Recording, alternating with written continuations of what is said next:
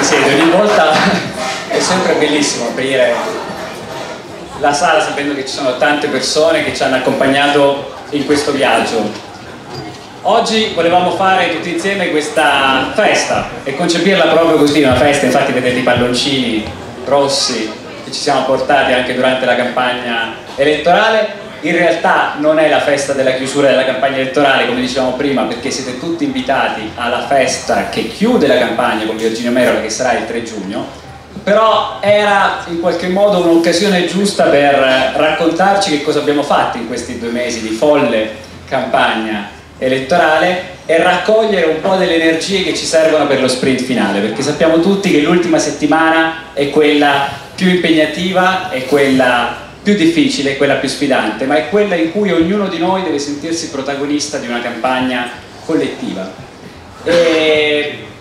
vedete i cubi, non potevano mancare i cubi, anzi ringrazio Stefano che ci aiuterà in questa eh, passeggiata, in questa camminata per raccontare che cosa abbiamo fatto in due mesi di campagna elettorale, perché ci siamo ripromessi di rendicontare quello che avremmo fatto durante questo, questo viaggio, questo percorso che abbiamo fatto insieme.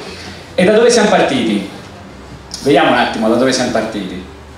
Siamo partiti da qui, non so se qualcuno di voi se lo ricorda, molti di voi c'erano, e siamo partiti dal 9 aprile, dall'idea di costruire attraverso delle levagne una, una visione, un'immagine di Bologna, della città che amiamo, della città in cui molti di noi sono nati, e molti di noi hanno scelto questa città per, per vivere, per abitarla e per, per darle un futuro per, per, i nostri figli. Abbiamo disegnato Bologna la città che sceglie il futuro insieme a tante persone, abbiamo lavorato in dieci tavoli tematici e abbiamo cominciato ad affrontare quelle che poi sarebbero diventate le cartoline di questo, di questo viaggio. Accessibilità, innovazione, lavoro, diritti, Europa, avremo modo di, di parlarne con, con gli ospiti che già avete visto immagino qui in sala e alcuni altri arriveranno. Ci siamo ripromessi di fare una campagna elettorale collettiva ed è questo il motivo per il quale il primo omaggio che vorrei fare è a tutti i volontari che hanno accompagnato, che mi hanno accompagnato in questo viaggio.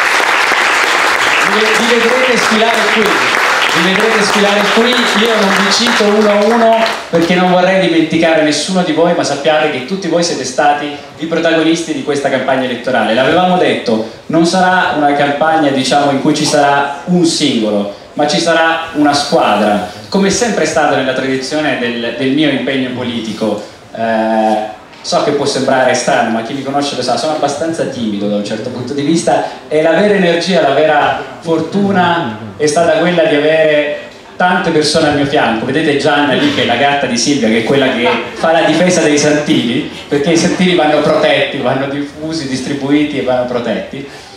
E però è stato veramente un viaggio emozionante, bellissimo, in cui mi sono portato dentro tante, tante storie, tante esperienze, ma un modo di fare politica, eh, l'amica Orianna che in sala lo sa, secondo una parola che non è molto usuale in politica, che è la parola gentilezza.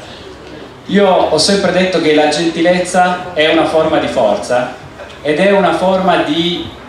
una categoria del pensiero e dell'azione politico, perché si può fare politica col sorriso, si può fare politica con l'allegria, si può fare politica con la gentilezza e devo dire che ci eravamo ripromessi di fare questa cosa in campagna elettorale, siamo stati un po' solitari perché i nostri avversari dall'altra parte non sono stati di certo gentili, visto che abbiamo chi ha voluto e chi continua e vuole strumentalizzare la città di Bologna come simbolo per uno scontro ideologico, per creare dei muri che dividono eh, gli italiani dai non italiani, dividono le persone sulla base del censo, del ceto sociale, noi invece vogliamo abbatterli, i muri e cercare di fare una città che sia integrata, solidale, giusta e accogliente. Questa è un po' l'idea della campagna collettiva che, che abbiamo portato avanti e sono contento davvero che tutte queste persone mi abbiano ciascuno di loro dato il loro contributo anche a livello di empatia, anche a livello di emozione, anche a livello di entusiasmo. È una campagna in cui abbiamo cercato anche di fare un po' di innovazione,